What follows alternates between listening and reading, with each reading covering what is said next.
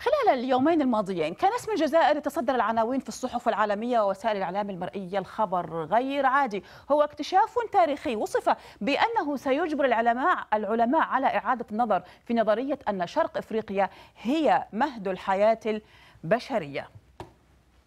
في هذه الصورة عينة من عشرات من الأدوات المصقولة والأحجار وعظام الحيوانات التي اكتشفها فريق البحث المتكون من خبراء آثار جزائريين وعدد من الباحثين الأوروبيين. الفريق تمكن من العثور على عدد من الهياكل العظمية لتماسيح وفيلة وفيلة وديناصورات وزرافات وحيوانات برية لم تعرف من قبل إلا في إفريقيا الاستوائية.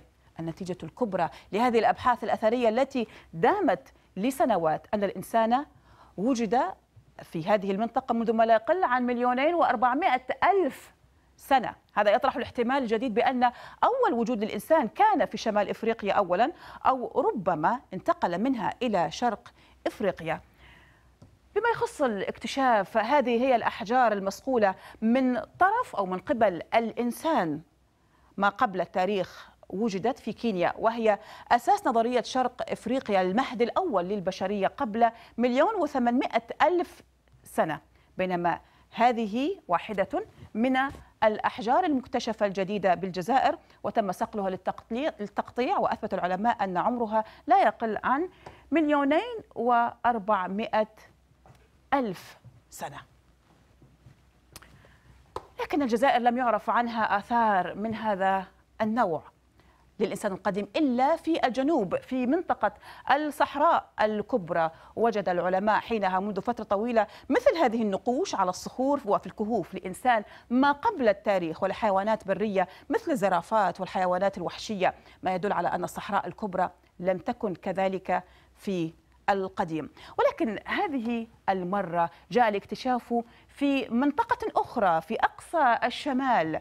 نتحدث هنا بالقرب من ولاية سطيف على بعد 100 كيلومتر فقط من سواحل البحر الأبيض المتوسط في منطقة العلمة.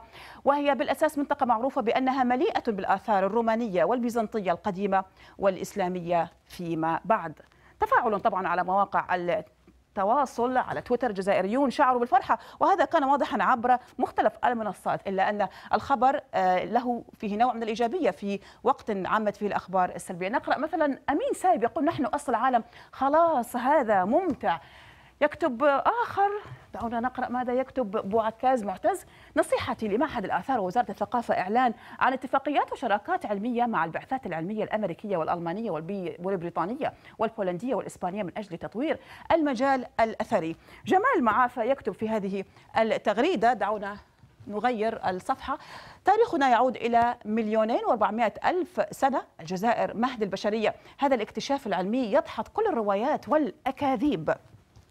ومحمد عبد الحق يكتب تحليل الخبر ده سيدخل الوعي البشري في متاهة وسيوضح أن مرحلة اللعب على المكشوف للإعلان عن أصول الإنسان آه، داخلة في مرحلة حرجة ستهتز معه كل الثوابت المتعارف عليها. طبعا نمر مرة أخرى على صورة الفريق من الخبراء الجزائريين ومن إسبانيا وأستراليا وفرنسا بعد تكريمهم من طرف وزارة الثقافة الجزائرية على البحوث التي قاموا بها ونشرت في مجلة ساينس المرموقة المتخصصة في البحث العلمي. البروفيسور محمد سحنوني الذي قاد هذه البحوث تحدث عن النتائج العلمية للتاريخ البشري القديم وهذا ما قاله.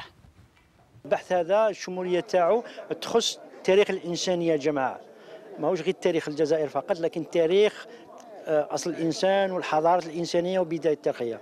ما اكتشفناه في عين بوشريط عبارة عن موقع آخر أو مهد للإنسانية آخر بالإضافة إلى ما ما هو موجود في أفريقيا الشرقية.